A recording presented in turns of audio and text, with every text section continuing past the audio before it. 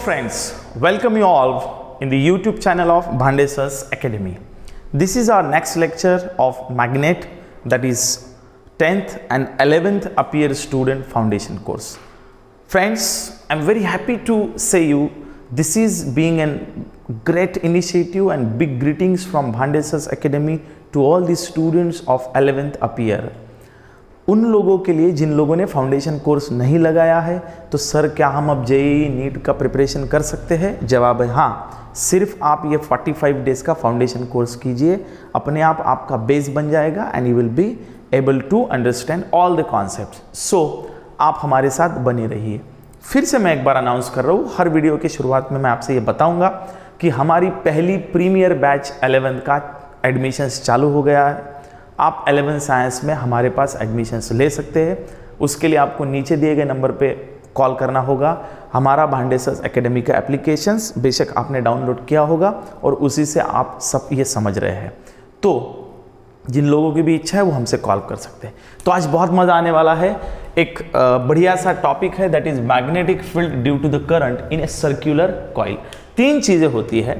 पहला होता है स्ट्रेट कंडक्टर क्या होता है बच्चों? स्ट्रेट कंडक्टर, ये ऐसा सीधा वायर है। दूसरा होता है सर्क्यूलर लूप। क्या होता है बच्चों? Circular loop. और तीसरा होता है सोलियो, सोलिनॉइड। तो हम लोगों ने ये पढ़ लिया है सर्क्यूलर लूप और सोलिनॉइड, हमको इसके बाद में पढ़ना है। सर्क्यूलर लूप क्या होता है? पहले मैं आपको यह समझा दूँ कि यदि मैंने आपको ये लास्ट लेक्चर में पढ़ाया है, यदि आपने लास्ट लेक्चर नहीं देखा है तो लास्ट लेक्चर देख लीजिए। लास्ट लेक्चर में हमने ये पढ़ा है कि स्ट्रेट कंडक्टर यदि हमारे पास है if we have a straight conductor तो how how current will flow how the current will flow very simple very simple कैसे करंट फ्लो होता है? बाय राइट हैंड रूल ये यदि करंट का डायरेक्शन है ना, ऊपर जा रहा है करंट तो ये जो आपका थम है, उसको ऊपर की दिशा में लो। और इसको ऐसा पकड़ने की कोशिश करो। तो आप ऐसी उंगली रोटेट करोगे तो ये होगा आपका एंटी क्लॉकवाइज वे से इसके इर्द गिर्द में सर्क्यूलर में आपकी मैग्नेटिक फ़ील्ड का निर्माण होगा। ये हमने लास्ट लेक्चर में पढ़ा था। अब बच्चों, में सिंपली क्या कर रहा हूँ? I am not doing anything new मैं इसी सर्क्यूलर इसी स्ट्रेट वायर को मैं यू इस तरीके से ऐसे बेंड कर रहा हूँ।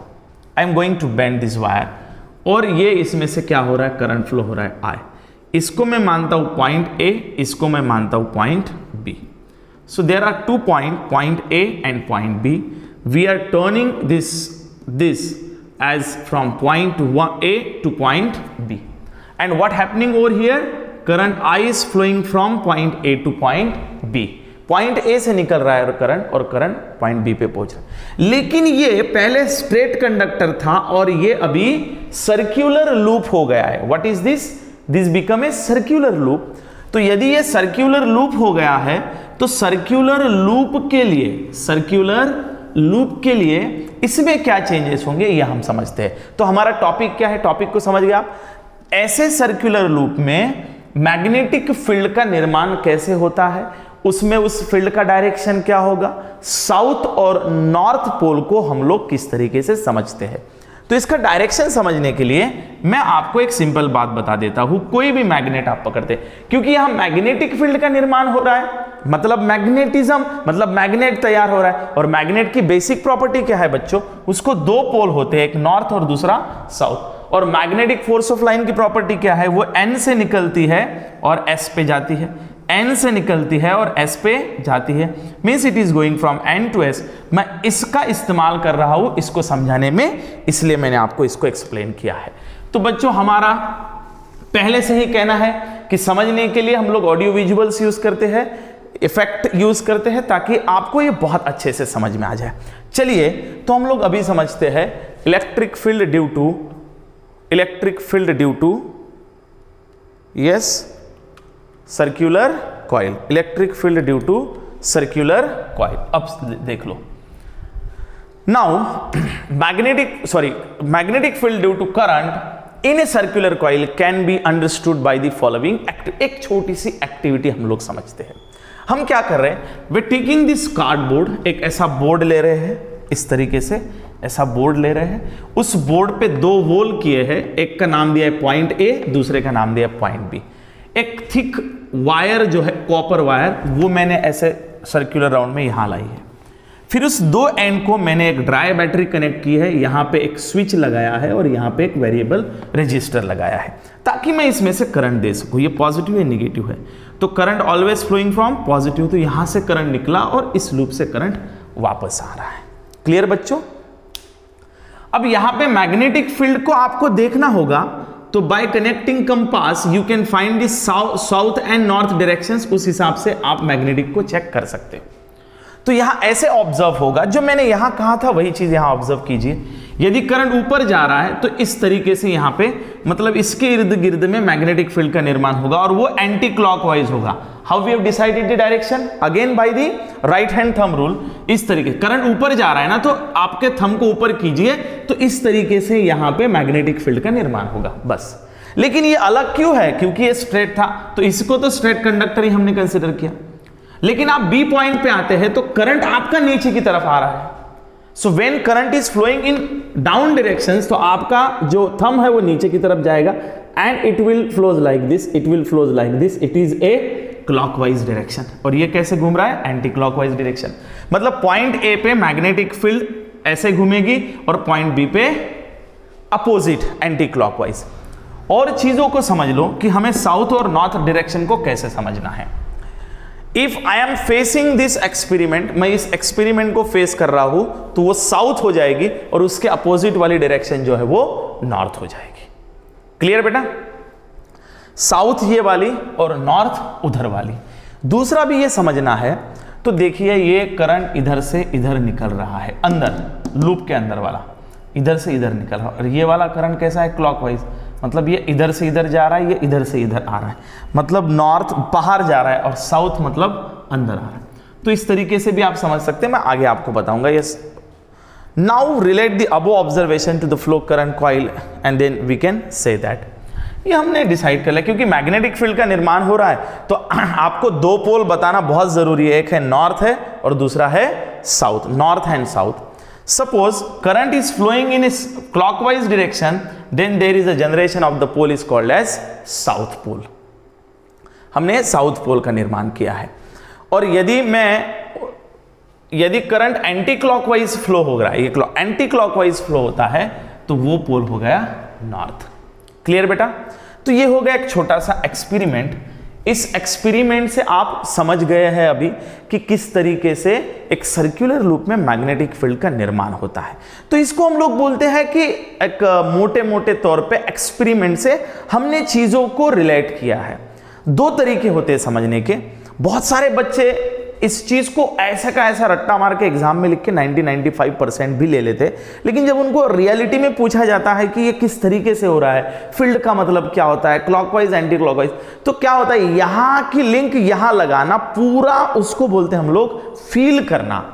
Physics is to feel once you understand तो आप और वो कलियों को उलझने में लग जाओगे और आपको मज़ा आएगा डेप्थ में। अभी मैं आपको डेप्थ में लेके चलता हूँ कि एग्ज़ाम पॉइंट ऑफ़ व्यू हम इससे क्या पढ़े हैं, इस एक्सपेरिमेंट से। तो चलिए, मैं आपको उसकी तरफ़ लेके जाता हूँ कि इस एक्सपेरिमेंट को हमें समझना कैसे है।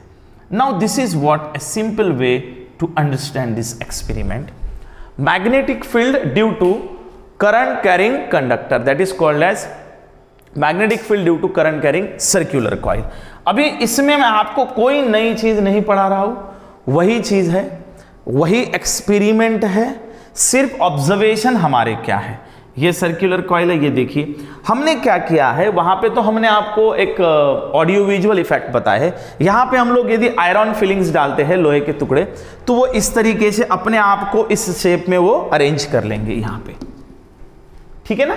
सो दिस इज़ वॉट ये हम समझे हैं अभी। मेरा जो है, यह है कंक्लूजन की। तो important conclusion what we have been drawn अब आप मज़ा देखिए। The magnetic field lies near the coil are nearly circular and concentrate this is due to reason the segment of the coil contact with the board points A and B are the almost straight conductor आप एक छोटा सा टुकड़ा लेंगे तो उसके इर्द गिर्द में आपको सर्कुलर दिखेगी। The direction of the field is found applying right hand thumb rule ये हमने देखा। The field lies in the same direction space near the centre coil field lies in nearly straight and parallel such a magnetic field at the centre of the coil taken as uniform आप देख, देखेंगे इसमें तो यह ये बोल रहा है कि आप यदि इसके सेंटर में देखते हैं तो आपको ये मैग्नेटिक फ़ील्ड जो है वो स्ट्रेट लाइन दिखेगी। एग्री क्योंकि वो जैसे जैसे लूप बढ़ेगी तो वो स्ट्रेट में दिखेगी, और जितना क्लोज जाएँगे, वो सेंटर में आपको सर्कुलर में दिखेगी। As we move toward the centre of the coil strength of the magnetic field increases strength of the magnetic field increases ये देखिए ना move towards the centre of coil magnetic field maximum at the center this is due to the reason that the two magnetic field one pole due to the uh, semicircular segment of the coil through A and other semi segment through the B assist to each other ये सिर्फ़ मेरे को आपको बताना था कि ये आप इसका स्क्रीनशॉट ले सके क्योंकि मैं कंक्लूजन बोलूँगा तो ये आप लिख सके जो मैंने आपको एक्सपेरिमेंटली बताया ये मैंने आपको in the form of notes बताया बराबर है जो डायरेक्शन का मैंने बोला था ये भी देख लेते हैं क्लॉकवाइज एंटी क्लॉकवाइज क्लॉकवाइज जा रहे तो साउथ एंटी क्लॉकवाइज जा रहे तो नॉर्थ ये भी बोला, ये भी आप देख लीजिए, इसका स्क्रीनशॉट लीजिए, यही आपका नोट्स हो जाएगा। जब मैं क्वेश्चन दूँगा तो क्वेश्चन आपको सॉल्व करने हैं, ठीक है? सो दो सवाल इसके ऊपर लिखने हैं। क्वेश्चन नंबर वन क्या बनेगा बेटा? एक्सप्लेन कंप्लीट एक्टिविटी जो मैंने पढ़ाई activity to understand magnetic field due to circular coil और दूसरा होगा डायरेक्शन ऑफ़ मैग्नेटिक फ़ील्ड मतलब ये वाला, ये। ऐसे दो सवालों के जवाब मैंने यहाँ पे लिख दिए हैं दोनों क्वेश्चंस आप स्क्रीनशॉट ले लो। इस वीडियो के बाद इन दो के सवाल लिख के आप मुझे ग्रुप पे भेज सकते हैं। बराबर है? So I again repeat the admissions for 11 science are open you can just doing the phone call on, on the given number नीचे जो नंबर दे उसके ऊपर कॉल कीजिए आपको आ, सब कुछ समझाया जाएगा और ऐप के थ्रू 11 के हमारे वीडियोस आपको मिलेंगे थैंक यू वेरी मच